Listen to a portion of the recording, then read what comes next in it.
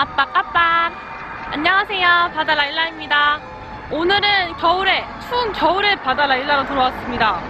여기는 지금 한국 인천 송도고요. 오늘 제가 오후 4시 비행기로 말레이시아 돌아가는 날이어서 공항 가는 길에 잠깐 스시 먹으러 들렸어요. 지금 센트럴파크에 주차하고 걸어가는 중인데 저기 초록색 건물까지 걸어갈 겁니다.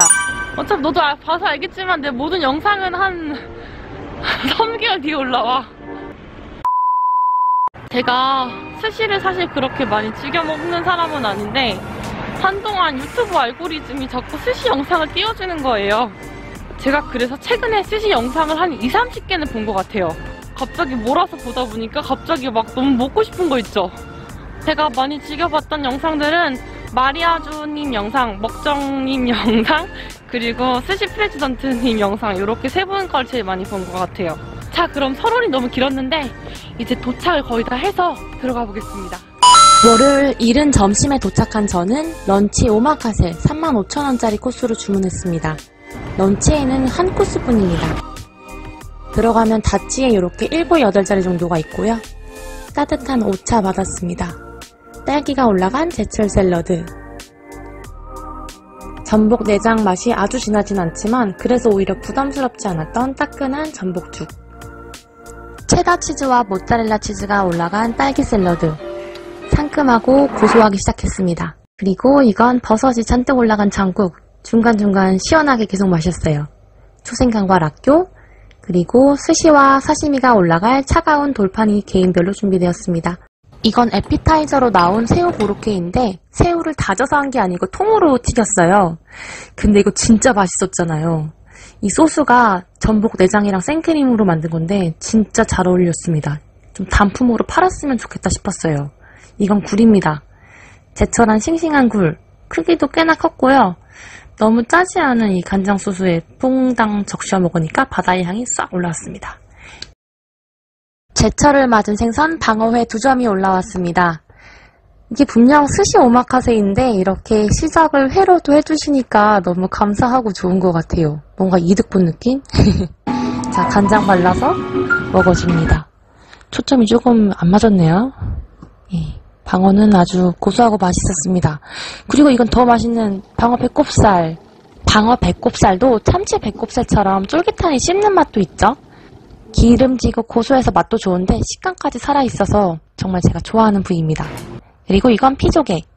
토치로 한번 그을려서 한 반 이상 익은 것 같아요. 쫄깃하니 맛있었습니다. 그리고 또 받은 배꼽살. 아, 이것은 과연 꽃인가?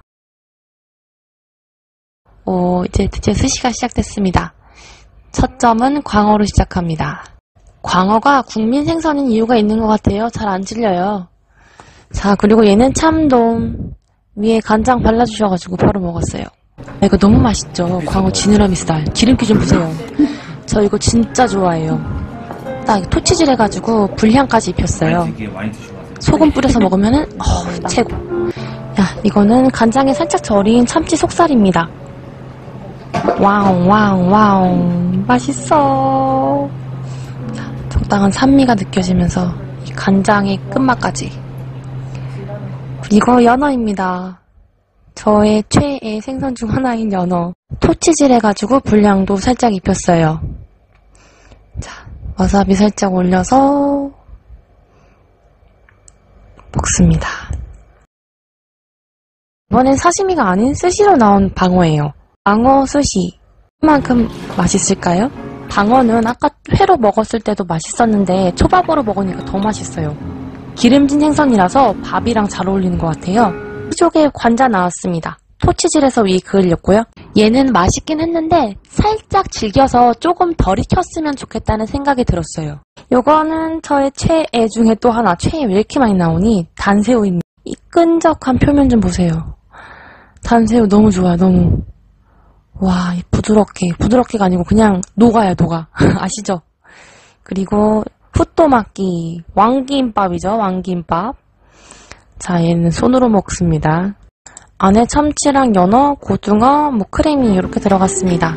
제 동생은 꼬다리 받았네요. 그리고 얘는 찌라시 스시, 흩뿌린 스시란 뜻이죠. 자, 진한 성게소의 맛. 성게 못 먹는 제 동생 위해서 제가 지금 퍼담고 있어요. 스시라의 밥은 적초를 사용해서 갈색을 띠고 있습니다.